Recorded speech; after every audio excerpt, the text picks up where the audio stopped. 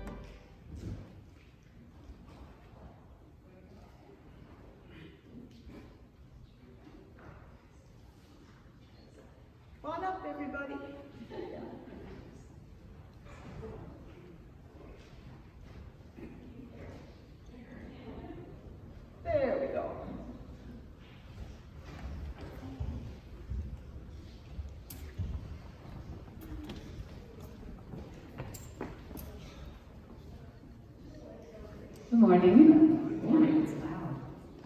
Um, I do have a prayer. Um, we have a little confusion this morning. Um, loving God, help us to build your church, one hub, one kind world, word, and one helpful act at a time. Amen. Amen.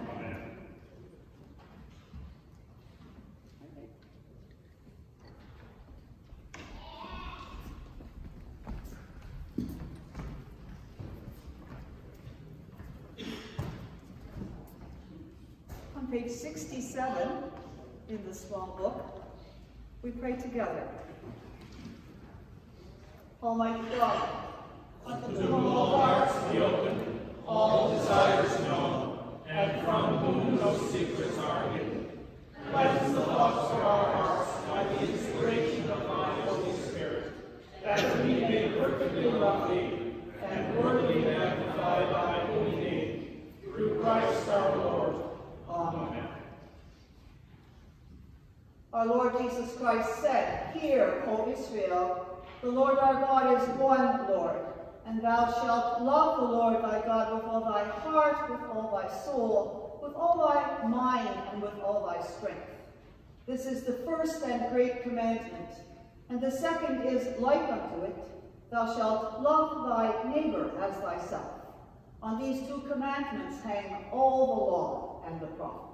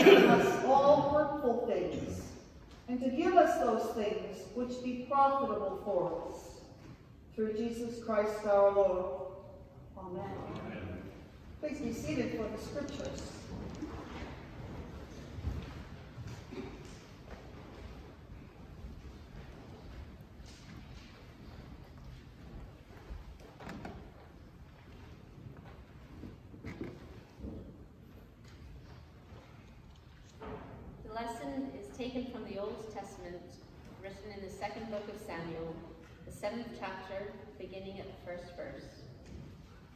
Now, when the king was settled in his house, and the Lord had given him rest from all his enemies around him, the king said to the prophet Nathan, See now, I am living in a house of cedar, but the ark of God stays in a tent. Nathan said to the king, Go, do all that you have in mind, for the Lord is with you. But that same night, the word of the Lord came to Nathan, Go and tell my servant David, Thus says the Lord, Are you the one to build me a house to live in? I have not lived in a house since the day I brought up the people of Israel from Egypt to this day. But I have been moving about in a tent and a tabernacle. Wherever I have moved out, moved about among all the people of Israel, did I ever speak a word with any of the tribal leaders of Israel, whom I commanded to shepherd my people Israel, saying, Why have you not built me a house of cedar? Now therefore, thus you shall say to my servant David, Thus says the Lord of hosts, I took you from the pasture, from following the sheep, to be prince over my people Israel. And I have been with you wherever you went, and have cut off all of your enemies from before you. And I will make for you a great name, like the name of the great ones of the earth. And I will appoint a place for my people Israel, and will plant them, so that they may live in their own place and be disturbed no more. And evildoers shall affect them no more, afflict them no more. As formerly from the time that I appointed judges over my people Israel, and I will give you rest from all your enemies. Moreover, the Lord declares to you that the Lord will make you a house. When your days are fulfilled and you lie down with your ancestors, I will raise up your offspring after you, who shall come forth from your body, and I will establish his kingdom. He shall build a house for my name, and I will establish a throne of his kingdom forever. I will be a father to him, and he shall be a son to me. When he commits iniquity, I will punish him with a rod such as mortals use with blows inflicted by human beings. But I will not take my steadfast love from him, as I took it from Saul, whom I put away from before you. Your house and your kingdom shall be made sure forever before me. Your throne shall be established forever. In accordance with all these words and with all this vision, Nathan spoke to David. Here endeth the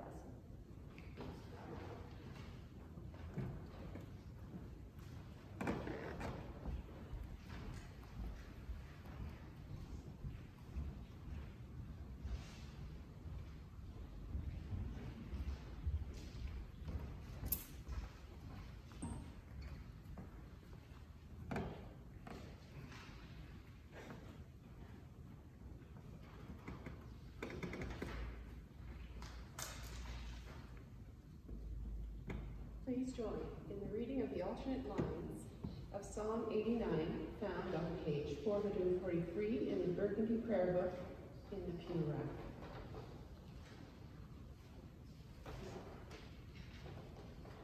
My song shall be always of the loving kindness of the Lord. With my mouth shall I ever show my faithfulness from one generation to another. For I have said, Mercy shall be built up forever. I have made a covenant with my chosen one. I have sworn to my servant, Your seed will I establish forever. and set up thy throne from one generation to another. O Lord, the heavens will praise your wondrous works. And thy faithfulness in the congregation of the holy ones. For who in the clouds can be compared unto the Lord?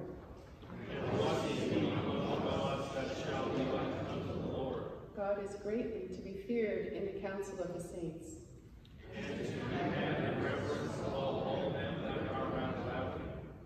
O Lord God of hosts, who is like you?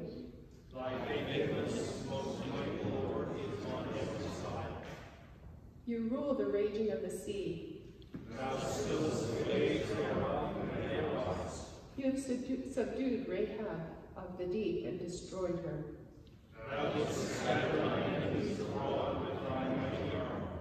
The heavens are yours, the earth also is yours. Thou hast laid the foundation of the round world, and all that is therein. You have made the north and the south.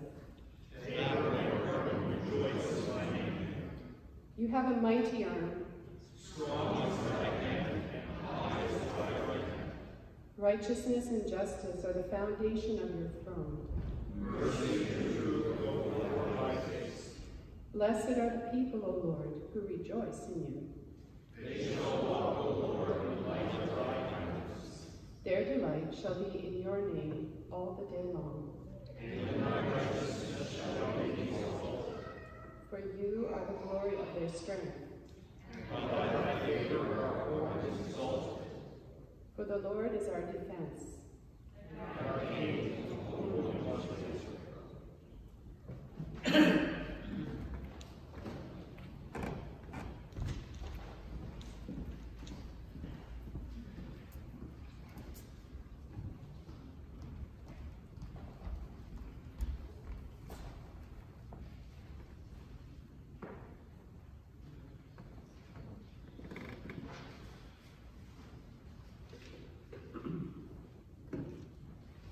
epistle is written in Paul's first letter to the Ephesians, the second chapter, beginning at the 11th verse. So then, remember that at one time you Gentiles by birth, called the uncircumcision by those who are called the circumcision, a physical circumcision made in the flesh by human hands. Remember that you were at one time without Christ, being aliens from the commonwealth of Israel and strangers to the covenants of promise, having no hope and without God in the world. But now, in Jesus Christ, you who were once far off have been brought near by the blood of Christ. For he is our peace. In his flesh he has made both groups into one, and has broken down the dividing wall, that is, the hostility between us. He has abolished the law with his commandments and its ordinances, so that he might create in himself one new humanity in place of the two, thus making peace, and might reconcile both groups to God in one body through Christ, thus putting to death that hostility through it. So he came and proclaimed peace to you who were far off, and peace to those who were near. For through him, both of us have access in one spirit of the Father. So then you are no longer strangers and aliens, but you are citizens with the saints and also members of the household of God, built upon the foundation of the apostles and prophets, with Christ Jesus himself as the cornerstone. In him the whole structure is joined together and grows into a holy temple in the Lord, in whom you are also built together spiritually into a dwelling place for God. Here endeth the epistle.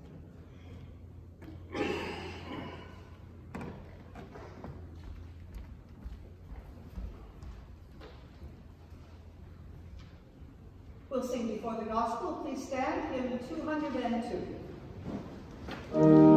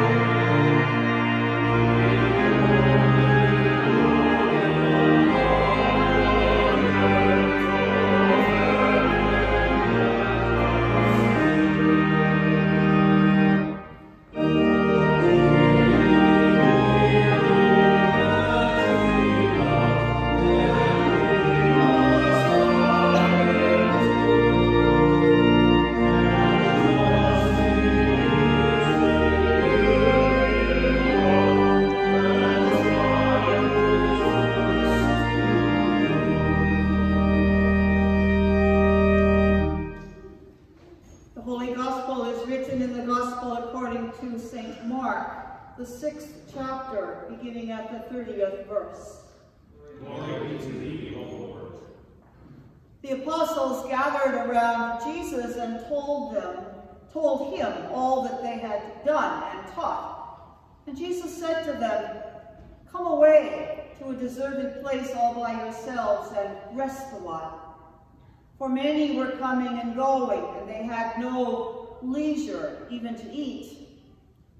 And they went away in the boat to a deserted place by themselves.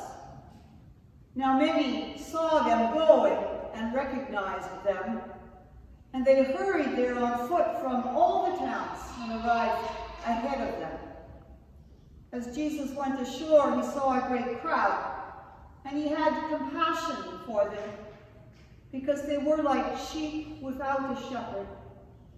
And he began to teach them many things.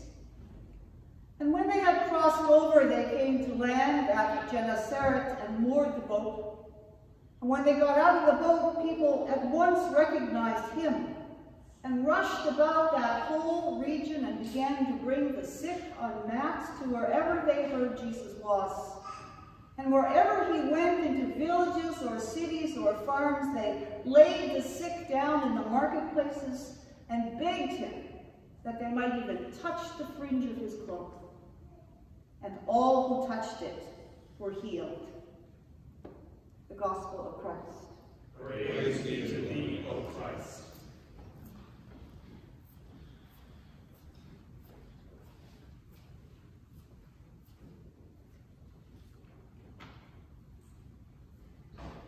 On page 71, say it together. I believe in one God, the Father Almighty, the maker of heaven and earth, and of all things visible and invisible, and in one Lord Jesus Christ, the only begotten Son of God, begotten of the Father before all worlds, God of God, light of light, very God of very God, begotten, not made, being of one substance with the Father, through whom all things were made, who for us and for our salvation came down from heaven, and was incarnate by the Holy Ghost of the Virgin Mary, and was made man, and was crucified also for us under Pontius Pilate. He suffered and was buried, and the third day he rose again according to the Scriptures, and ascended into heaven, and sitteth on the right hand of the Father. And he shall come again in glory to judge both the quick and the dead, whose kingdom shall have no end. And I believe in the Holy Ghost, the Lord, the giver life, who proceedeth from the Father and the Son, who with the Father and the Son together is worshipped and glorified, who saved by the prophets. And I believe in one holy and Catholic and apostolic church. I acknowledge one baptism for the remission of sins, and I look for the resurrection of the dead, and the life of the world to come. Amen.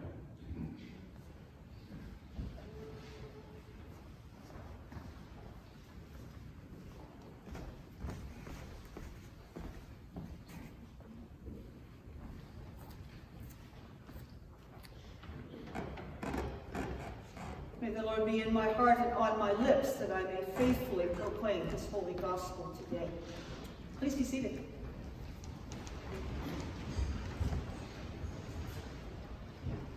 Well, for starters today, I wish all of us had a Nathan. I think our actual Nathan is with Sunday school right now. Last week, King David built a new cart for the Ark of God. He upgraded God's wheels so God could travel as David's people traveled. Remember that the understanding given to them in the day was that God resided in some very real way inside the ark, this box. So when the people traveled, in order for God to come with them, the ark needed wheels. In today's scripture, David and his people are more settled. God has given them rest from their enemies. David has built himself a house of cedar, and he decides that God needs a proper house. and that he, David, is the man to build it. But this is not God's will, and David gets a clear message from God, not directly, but through Nathan. Wouldn't you like a Nathan in your life? Someone who would say to you, don't do that. You know, don't go down that path. That's not God's will for you. And it would be true because God really spoke and Nathan really heard. And Nathan has the mojo to speak God's word to the king or to you.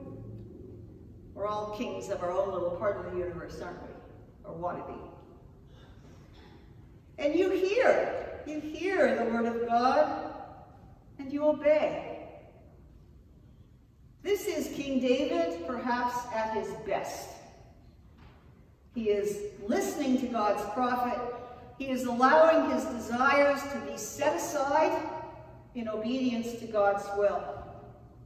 Now, if you have any popular or biblical knowledge, you know that this is not the way King David is headed. I could argue this is his peak. It's kind of a downslope from here in terms of obedience to God's will and serious troubles in David's life. But I want to suggest today that what God does with David through the prophet Nathan is what God so often does with us. That is, he meets us where we are, in our real lives and our real desires. You know, what you really want. He accepts us, but he does not leave us there. God through the ordinary things and activities of life, and with an outstretched arm, God offers us extraordinary grace, astonishing promises, and exuberant hope. God calls us to come higher up, farther in, and maybe even with a divine sense of humor. Did you catch God's pun in the first reading? Here it is. There's a wordplay here about houses. David says to God, I will build you a house. And God says, well, no, actually. David, I am going to make you a house. David is speaking in the ordinary. He's going to get the guys to whack together some boards of cedar make a house for God. God is saying, David, I am going to give you a family, a dynasty, and out of that dynasty will come the Messiah, the house. And so at Christmas we'll hear in the Gospel of Luke, some of you will know these words, and Joseph also went up from Galilee out of the city of Nazareth into Judea unto the city of David, which is called Bethlehem, because he was of the house and lineage of David. So David says, God, I'm building you a house, and David has in his mind, you know, it's got a roof and walls and a door and stuff. And God says, no, David, I'm going to make you a house. And God has in mind a lineage, a family, out of which will come Joseph, who completes the path to Jesus. Ha ha.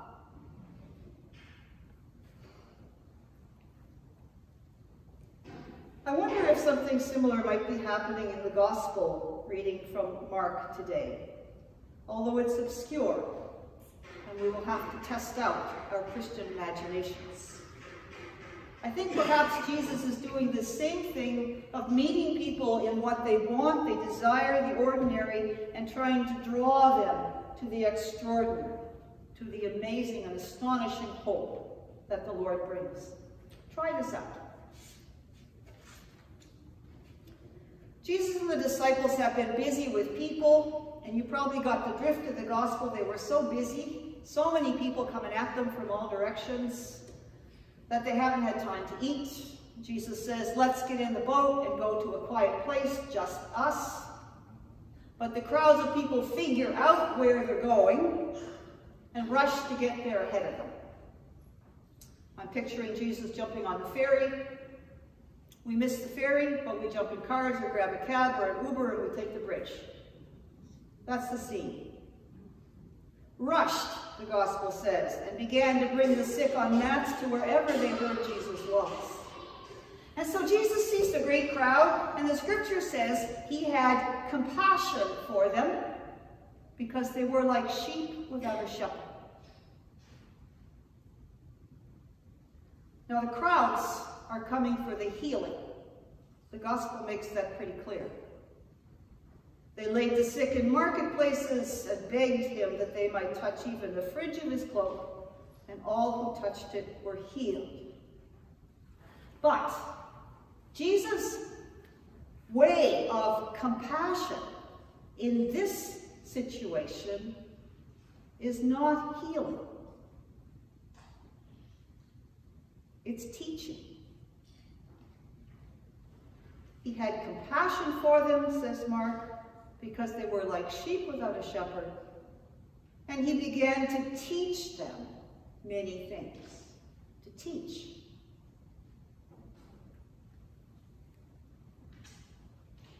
Now you're fought your way to the front of the crowd.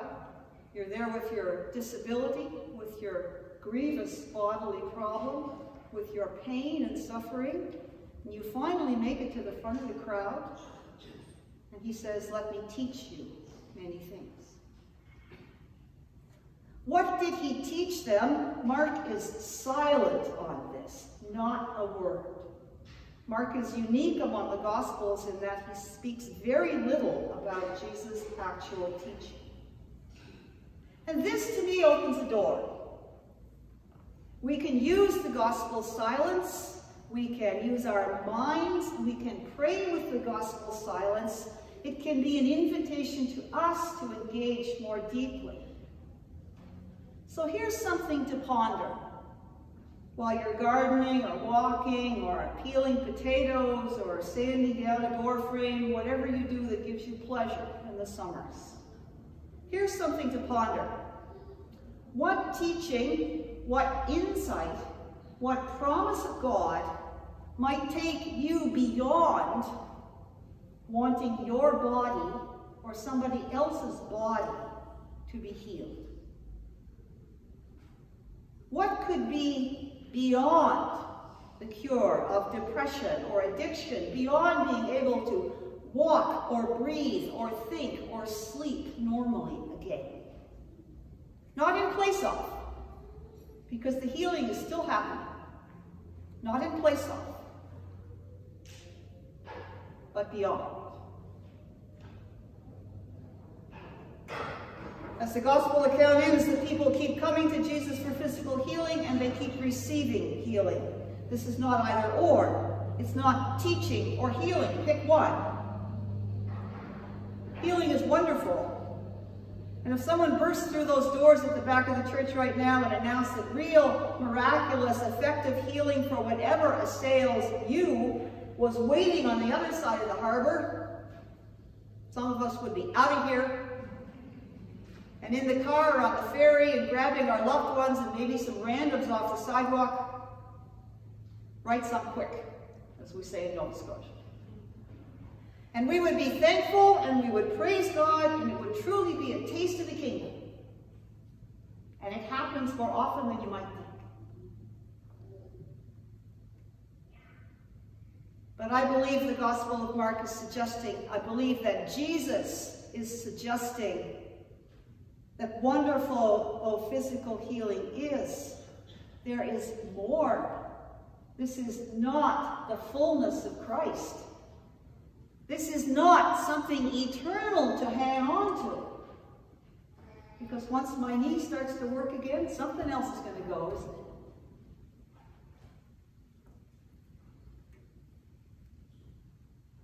We all know in some part of our depth that time is going to kill us. Time will kill the body, and it will take away a lot of things that we value on the way. So this is not the fullness of Christ. This is not something eternal to hang on to, and this is not the peace that passes all understanding. Jesus had compassion for them, so he taught them. What did Jesus give them in that teaching? Well, what do you seek? For my own part, I'm not sure I know. But I am grateful for this scripture. I am so grateful to the gospel for being pushed to think about it. I'm not sure I know what Jesus taught me. But this I do know. I know that in the beginning was the Word, and the Word was made flesh. I know that Christ is the Word and He is the way. I know that He comes to us in the face of our neighbor, in the words of Scripture, in moments of prayer, in a piece of bread and a sip of wine. I know that he who was there when the galaxies were flung into empty space comes to us, comes to you, that he knows each one by name, that he loves each one with an everlasting love. I know that he heals the brokenhearted. He calms our secret fears. He lifts our burdens of sin and shame. Know that he is gentle, but he is firm.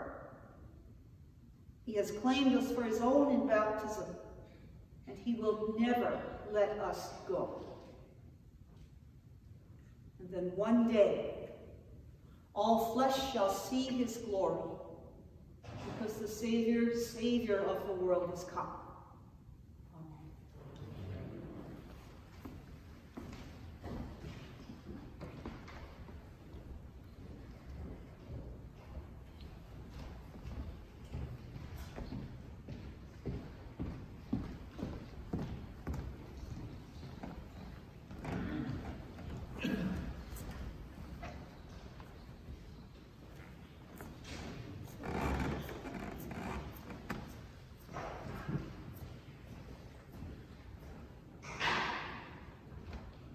Our offertory hymn is number 101.